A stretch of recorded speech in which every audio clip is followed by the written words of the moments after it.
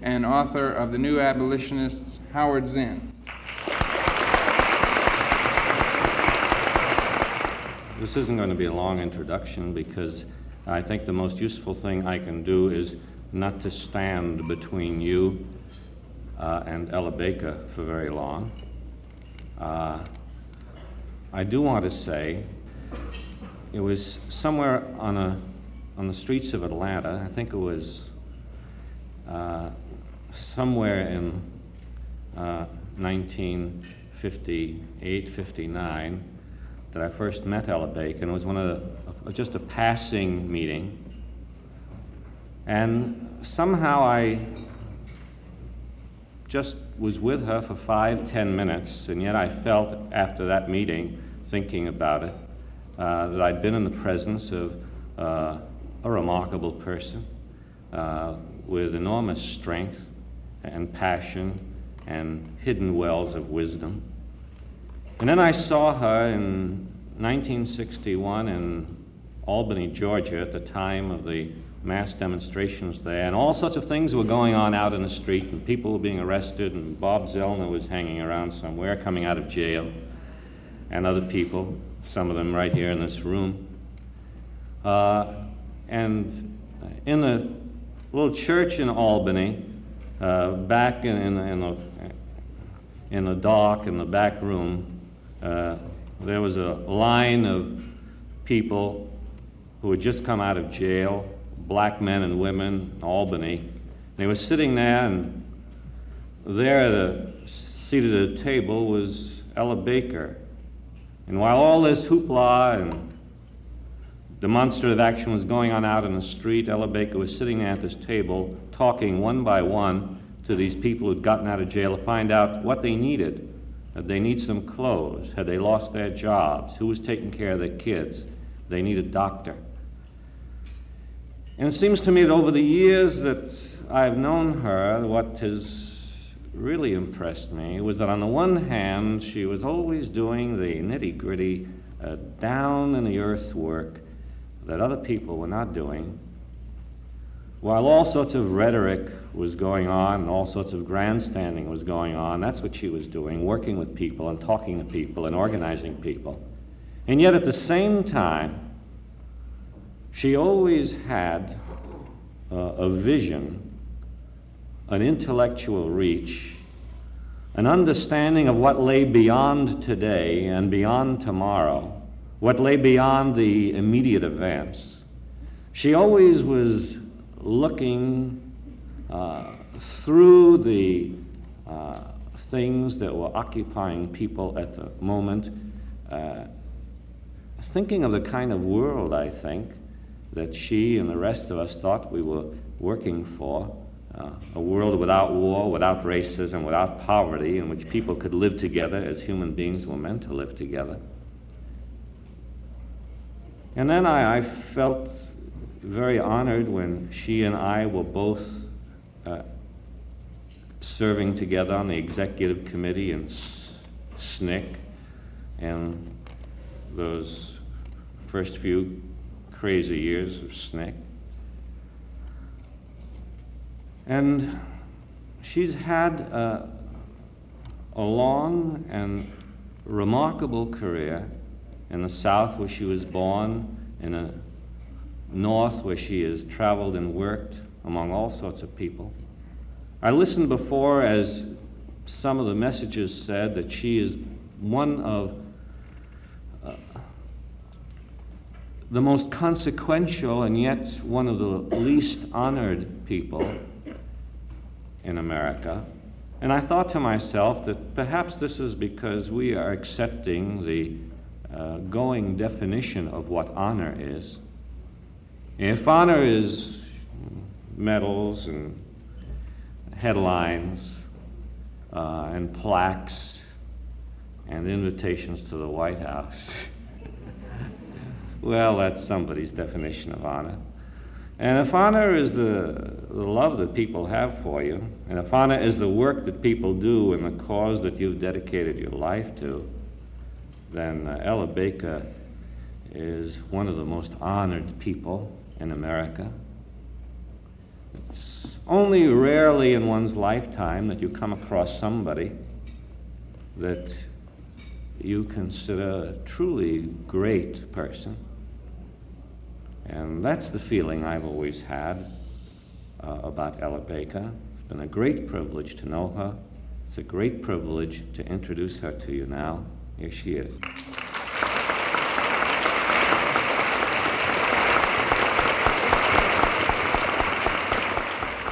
Mr. Chairman and friends, I don't know if I can recall a point in my lifetime that I have been as near speechless as I am tonight. I had said that I'd had great difficulty trying to put down something to say, not only because of tonight's occasion, but because I suppose, like many people who have lived a long while, who've seen a lot of things take place, and who still want to see where we're going, I am among those who are finding it pretty difficult to, to talk these days in the first place. And tonight I am finding it even more difficult because I must admit I had not responded to this occasion in the way that apparently other people have responded. Maybe I am at fault. But when Anne asked me if the dinner this year might be, quote, built around me, I said yes without any hesitation because I agreed with one other statement she made, namely, that of course this has elements of using you, but if you're like me, you do not object to being used for a good cause. And as far as I was concerned, this was it. Because irrespective of whatever else could take place tonight, to me, the most important reason for being here was for some people who did not know about SCEF to learn about its work, and for others of us who have been involved in its work to gain new life and new dedication to its support. Now, maybe I was wrong in taking this position. Maybe I should have let my ego find some satisfaction in the fact that, quote, I was being honored. But I must admit to you I have always found it very difficult to play that role because, in my estimation, one must do what one's conscience bids them do, and from no one except yourself expect applause. I have been introduced in various ways in my life. I've had the introductions Maybe I should be a little bit uh, historical or reminisce a bit. I remember when I traveled for the NAACP in the early 40s and throughout the South, I was weighing then about 40 pounds less than I'm weighing now, and I was 27 years younger. And on many occasions, when I arrived in a place, because they, the people had been accustomed to seeing what we used to refer to uh, facetiously as bedecked and bebosomed ladies. And here I appeared with neither bedecking nor not too much bebosoming. It was pretty difficult for some of the persons who had to introduce me to find a sense of security in presenting the speaker. And so, what they usually would say after some uh, words that maybe could be said about anybody, they said, and here we have our national officer. And this, of course, meant that they said, if don't blame me if it's not all right, it's the national office that sent her. But in 59, I went down to help them in an effort to break through the barriers to voter registration in Caddo Parish, Louisiana. And among the things that we were doing, of course, was getting around to various sections of the community to try to get people to understand how they would have to, what they would have to do in order to qualify to register, and to get them to come uh, out uh, to attempt to register. And on one occasion, after we had been around a while and uh, my habits, my work habits had become known, one of the dear brethren who introduced me after he asked the sister to say, ask, he said, Now, if this sister will give us a number on the piano, and then we will have a few words from the old workhorse. And this was what I was supposed to represent. Now, I remember those instances, and I remember thousands, hundreds of other instances when I had the privilege of thinking, at least, that I spoke what people were thinking in their hearts. I remember on one occasion, in the height of, uh, I guess, the World War, that war that was being fought in the 40s, I spoke at a church in Tampa, Florida. And there were, oh, a couple of hundred of people, hundreds, two, about 200 people present and we were recruiting NAACP memberships. And out of that group, we got about 80 that morning. And one sister got up and said afterwards, she said, I'm joining because I know what this woman is saying. What she is saying, any mother can understand.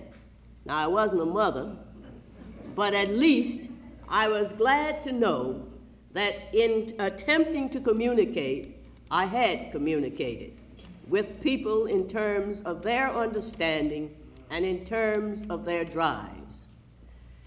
A lot of nice things have been said about me tonight, but I said that my main concern for being here was because this was an occasion to call attention again to the work that SCEF is doing.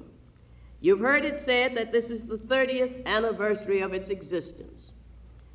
And I know of no organization that can measure its effectiveness in terms, uh, it can measure its effectiveness more effectively in terms of the repressions that have been, that it and its staff has suffered than SCEF. SCEF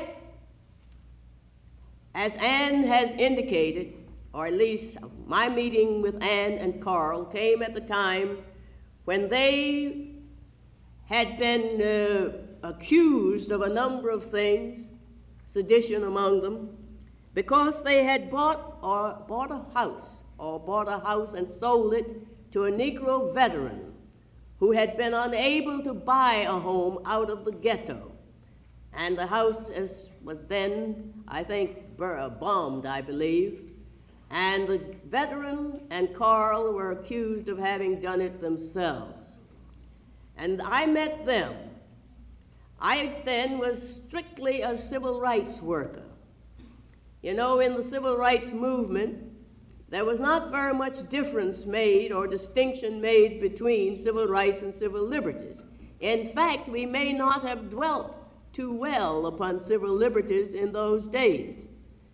And after meeting Anne and Carl, one of the things that became very clear was that those of us who were engaged, especially the young people at that time who were engaged in the nonviolent movement, had not understood that the very laws that were being used against them, like freedom, like uh, opposition to assembly, uh, like exorbitant and unusual bail, These were things that had to do with the civil libertarian aspects of a struggle that they knew very little of.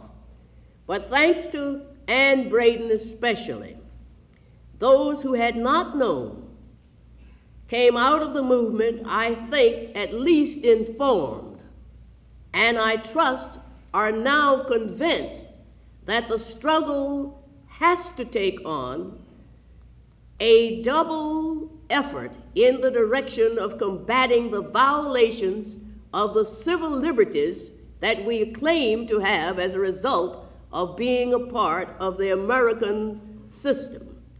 I've often felt that the marches were just, to a large extent, outlets for people finding expression and they assuage their sense of guilt or they uh, did away with any further need for involvement by becoming a part of the march. They are necessarily, no doubt, they are a necessary part of dramatizing a situation.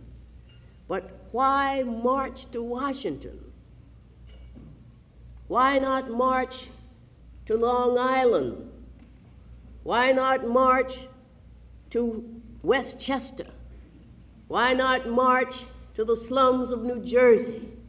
Why not march to Harlem, to Bedford Stuyvesant? Not in terms of a physical march, but in terms of recognizing that what is happening in these places in terms of poverty is a responsibility that has to be dealt with by those who are not impoverished. In other words, those of us who have money have got to speak to those who are in power in a way that they understand, which is how?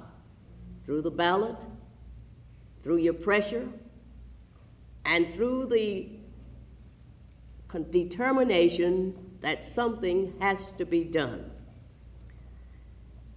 Poverty, war, we are pretty well on the way to at least dealing with the question of war. But beyond the question of the Vietnam War is the larger question of what kind of foreign policy does the Vietnam War represent, and what kind of foreign policy will there be after the Vietnam War?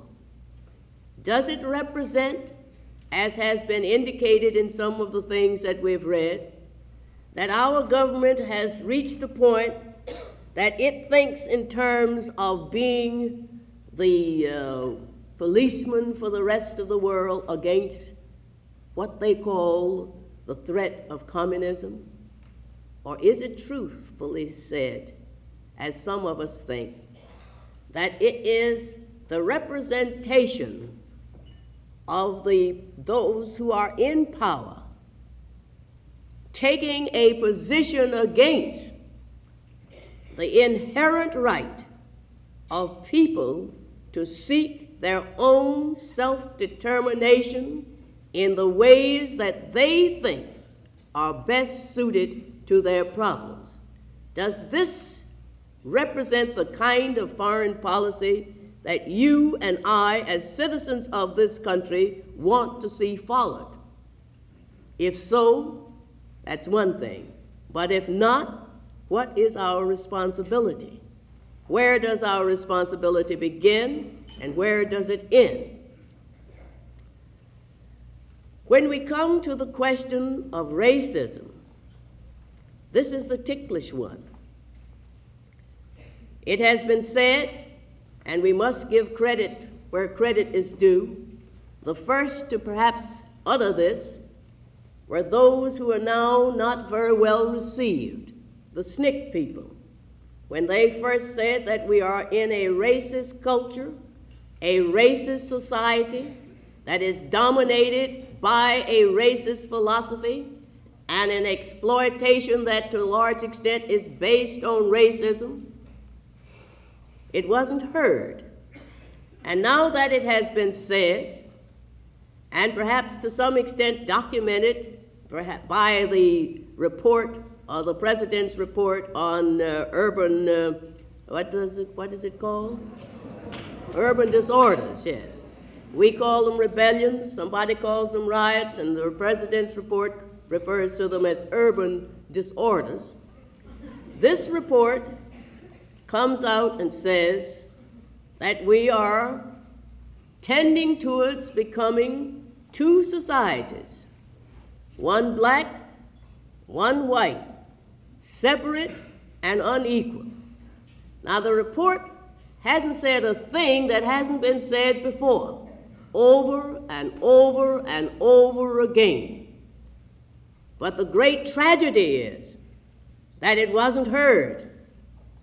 It was said each time there was a protest against racial segregation. It was said each time that people like Stokely Carmichael got his head beaten because he was trying to resist the racist aspects of the Southern society. And then we were much more eager for the fight against racism because of what? It was over there, it was in the South. We could always point the finger. But when it began, when it begins to explode at our very doorsteps, what do we do? We get afraid and we get fearful. It's understandable.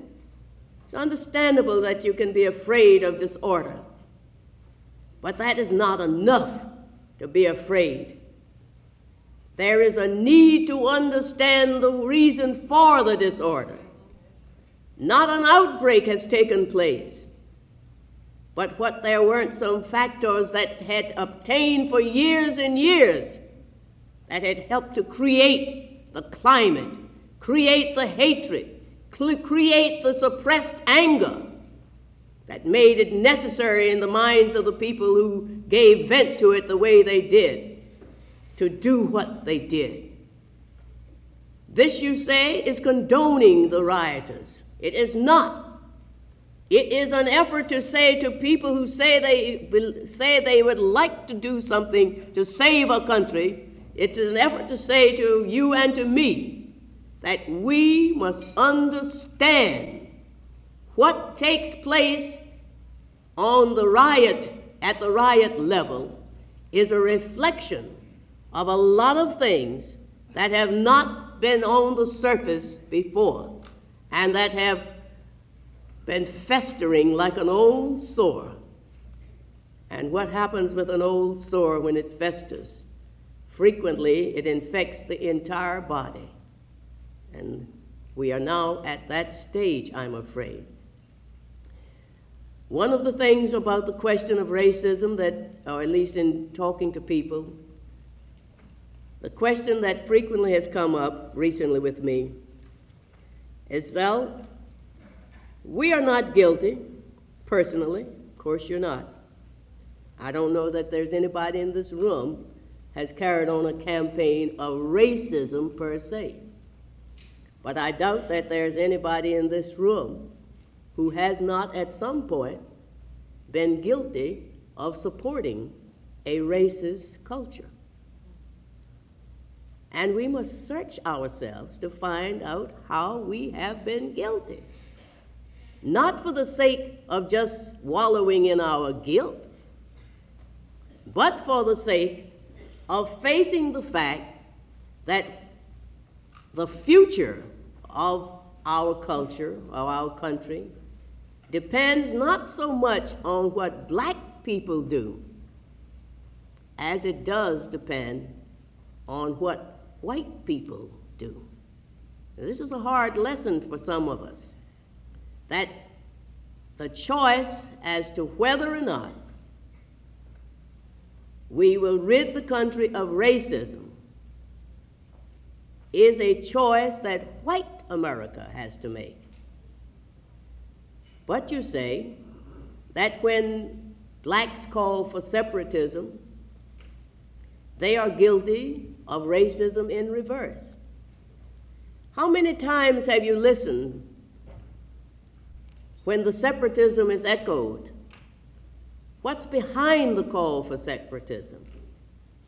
There are many things are said, but in my estimation, there are times when the most radical makes the statement that you can't expect anything from Whitey. What he is really saying is, Show me. He is begging to be shown. Now, how can you do it? I don't know. I wish I knew how you could show.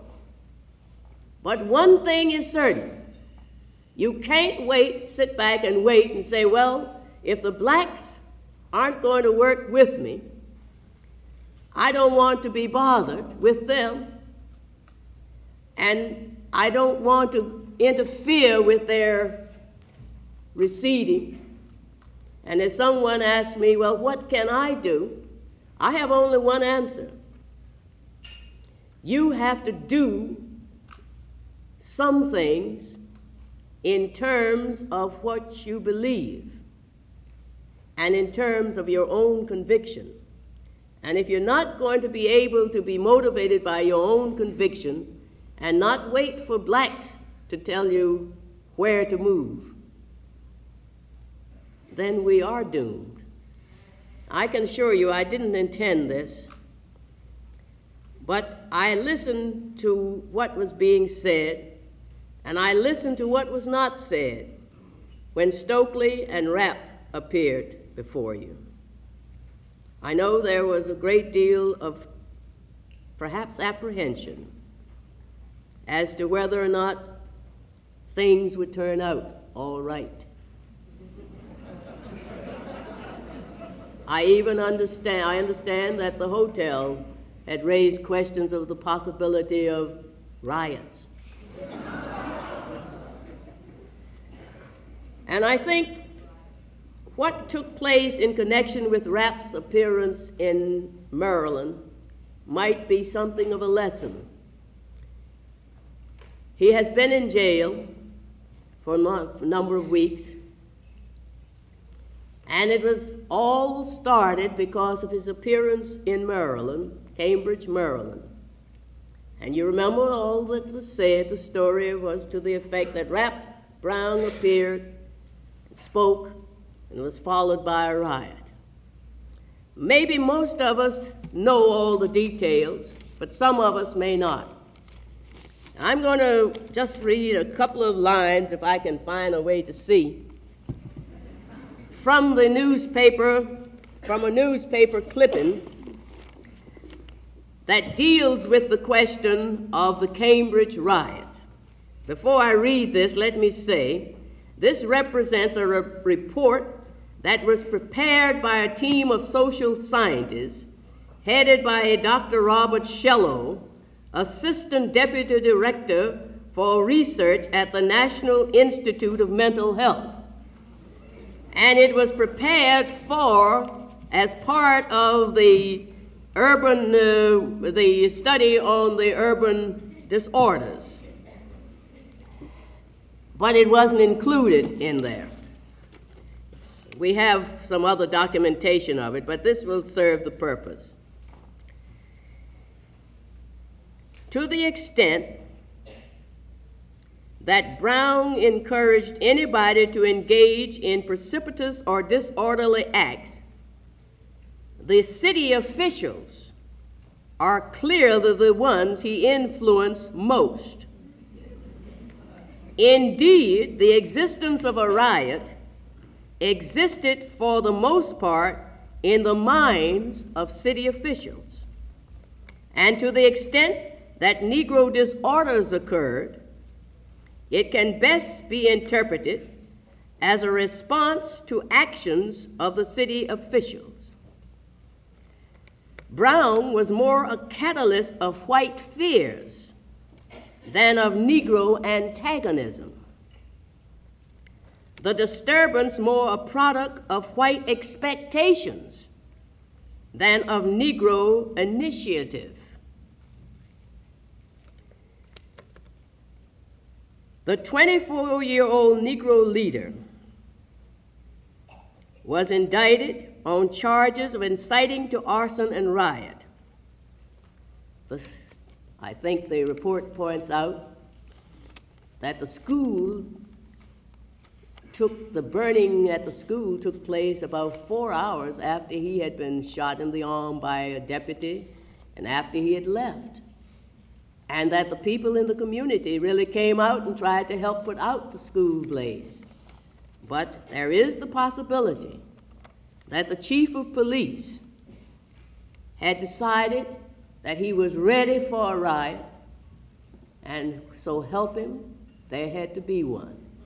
Those of us who are not ready for the burning will go down to our city halls, go down to our mayors and to our governors and even to our federal government and question why so much artillery is being bought and stacked and stocked to deal with people who are fighting against an oppressive or a repressive system that they have become victim to. The voice of those who believe that life is more sacred than property must be heard now, at no other time.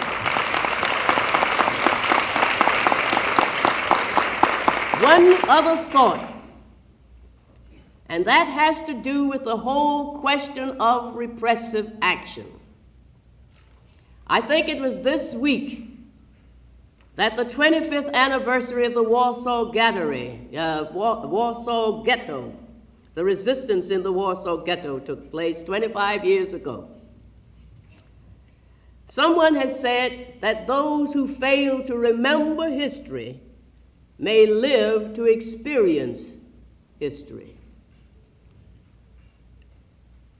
What I am suggesting is that the trend towards repressive measures against those who are resisting the war, those who are resisting the racist repressions, those who are resisting the poverty that they endure, those who are challenging a system more and more the repression is stepped up in terms of what? Eliminating those people in one way or the other, containing them. Rap Brown was sent to jail not because he had been tried and found guilty of a crime, but because this was an easy, he was an easy target and if we take the position that, sure, I don't believe in that kind of imprisonment, but you must remember what he said, then we aren't really understanding that the real issue is repression. Not repression for whom, but repression against anyone who violate for who is exercising what we say are our constitutional rights of freedom of speech.